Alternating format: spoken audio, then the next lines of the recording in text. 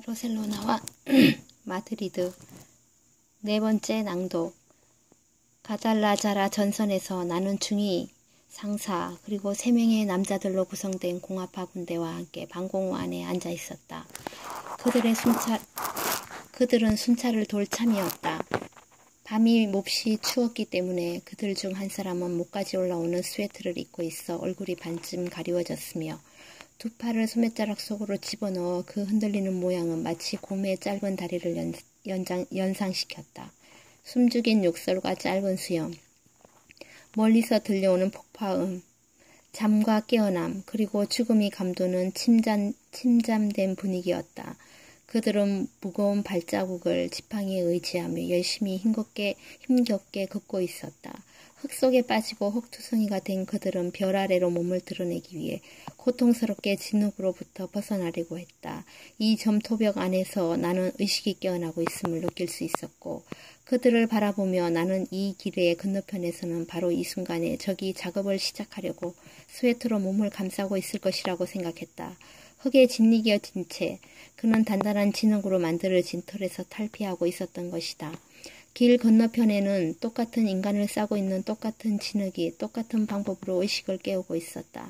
순찰대는 어둠 속에 보이지 않는 바위를 밟으며 관목의 가지들을 부러뜨리며 평야를 가로질러 갔다. 우리는 저기 잠복하고 있는 반대편의 좁은 계곡으로 내려갔다.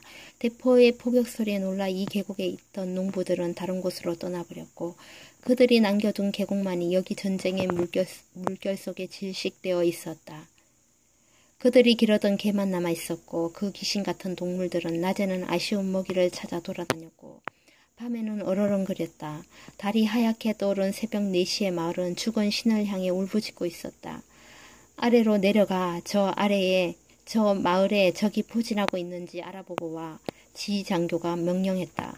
아마 저 반대쪽에서도 그와 똑같은 명령이 전달되었을 것이다. 우리들과 함께 정보 관리한 사람도 동행했다. 그 사람의 이름은 잊었지만 모습은 생각난다. 그는 류마티스 환자였을 것이라고 기억하는데 그 이유는 밤길을 걸어갈 때 그가 지팡이에 힘을 주었었기 때문이다. 그의 얼굴은 양심적이고 나이 많은 노동자의 그것이었다. 나는 그가 정치와 정당, 이념적인 대립을 초월한 사람이라고 확언할 수 있다. 우리들의 관점을 상대편에게 설명할 수 없다는 것은 무척 불행한 사실이요. 라고 그는 말했었다. 그는 전도사처럼 주위의 사태를 관망했다. 한편 길 반대쪽에도 이 사람만큼이나 의식이 깬 전도, 전도사, 진흙 묻은 장화도 똑같이 똑같고 짊어진 의무도 똑같은 신앙인이 있을 것이다. 곧 답이 듣, 답을 듣게 될 겁니다. 나의 안내인이 말했다. 좀 더 가까이 가면, 가면 적을 불러 질문을 하겠습니다. 오늘 밤 대답을 듣게 될 것입니다. 아직 우리들은 잘 몰라도 우리는 모든 복음을 포용하는 복음을 찾고 있는 것이며 폭풍우 이는 시나이 반도를 향해 행진을 하고 있는 것이다. 우리는 도착했다. 이곳엔 돌담의 그림자 속에서 졸고 있는 보초가 있었다. 그렇지요. 내 안내인이 말했다. 어떤 땐 그들이 대답을 해줍니다. 그들이 먼저 불러 질문을 할 때도 있지요. 물론 그들도 대답을 안 할 때가 있습니다. 자기들 기분에 따라서. 신들처럼 그들도 그랬다. 백야드 뒤에 우리의 참호가 있었다. 나는 담뱃불을 붙이기 위해 성냥을 그었다. 그러자 두 개의 힘센 손이 내 머리를 내리눌렀다. 모두 다 숨을, 몸을 수그리고 있었다. 총알이 공기를 갈랐다. 그리고는 침묵이었다. 그들이 쏜 총알은 높게 계속해서 날아왔다. 그것은 이곳에서 지켜야 할 예의를 적이 가르쳐 주는 것이었다. 적의 면전에서 담뱃불을 붙인다는 것은 결례였던 것이다. 우리는 근방의 벽, 벽 뒤에 배치되어 있, 있던 네 명의 남자들을 만났다. 그들은 담요를 몸에 둘둘 말고 있었다. 저쪽에 있는 녀석들은 아마 잠을 안 자는 것 같군. 그들 중 한 사람이 말했다. 그들이 오늘 밤 말해줄까? 우린 그들하고 할 말이 있는데 한 사람 안토니오는 가끔 말을 하지. 그자를 불러와 불러봐. 담요로 싸고 있던 남자가 일어나 두 손을 입술 주위에 모으고 깊은 숨을 들이쉬었다. 그리고는 천천히 그리고 큰 소리로 외쳤다. 안토니오. 남자의 외침이 계곡을 날아갔다가는 다시 메아리쳐 왔다. 숨는 게 좋겠다. 옆에 있던 사람이 말했다. 어떤 땐 그 사람들을 부르면 총알이 날, 총알을 날려보낼 때도 있거든. 돌벽에 웅크리고 앉은 채 우리는 귀를 기울였다. 청송은 들리지 않았다. 그렇다고 아무 소리도 안 들린다고 할 수는 없었다. 밤이 바다 조개처럼 노래를 부르고 있었기 때문이다. 여봐, 안토니오, 자네.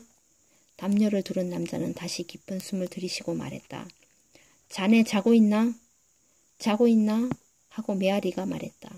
자고 있나? 라고 계곡이 물었다. 밤 전체가 그것을 알고 싶어 했다. 그 소리가 모든 공간을 채운다.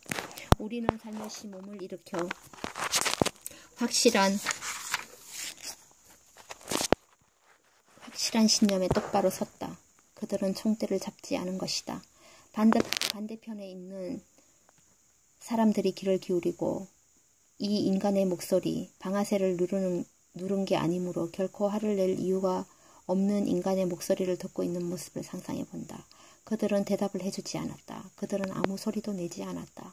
하지만 방금 전 상냥개비의 작동으로 총격을 유발시킬 수 있었던 저 말없는 청중은 얼마나 경계심이 강했던가. 인간의 목소리 위에서 태어난 보이지 않는 씨앗은 계곡을 건너 지르는 저 검은 대지를 윤택하게 해주고 있다. 우리가 그들의 말에 목말라 하듯이 그들 역시 우리의 말에 목말라 한다. 그러나 그들의 손가락은 줄곧 방아쇠에 가 있다.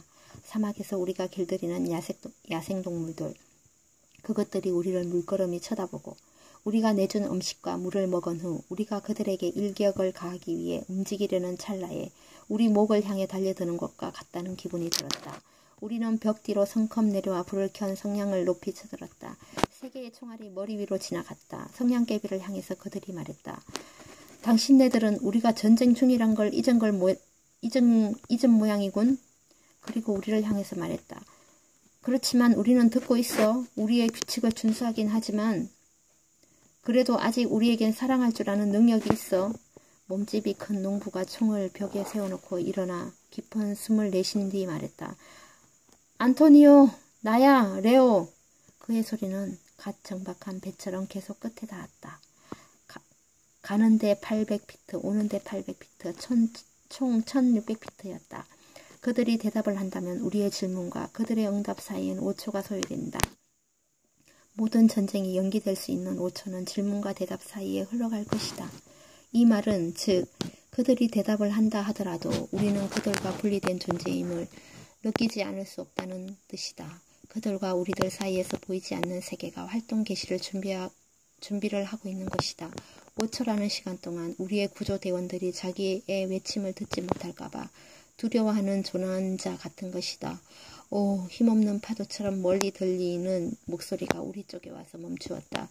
이 말, 이 단어는 오는 도중에 분실되어 독해할 수 없는 암호만 남겨졌다.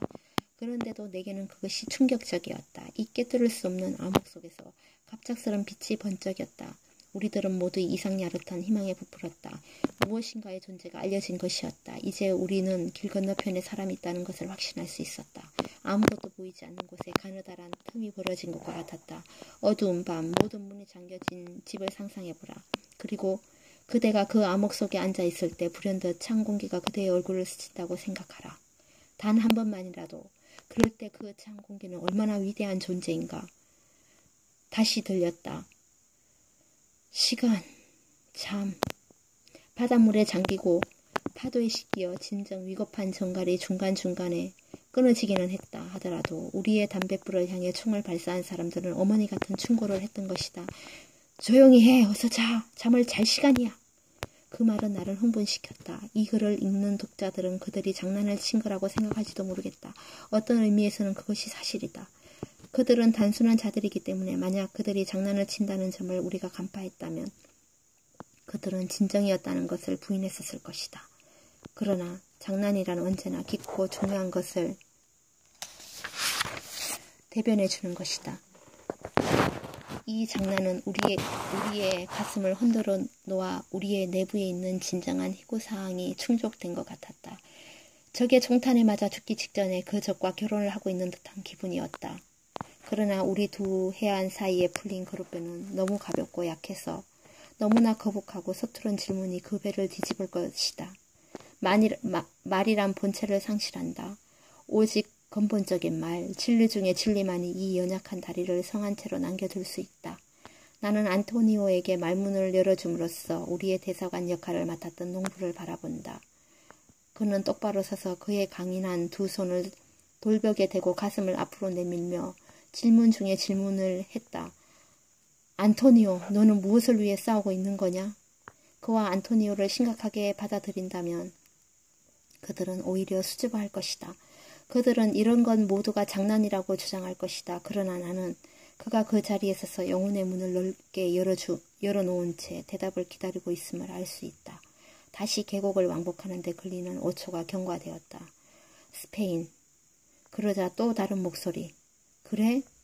그는 대답을 들었다. 나는 공간 속으로 돌진해 오는 듯한 이 위대한 답을 들었다.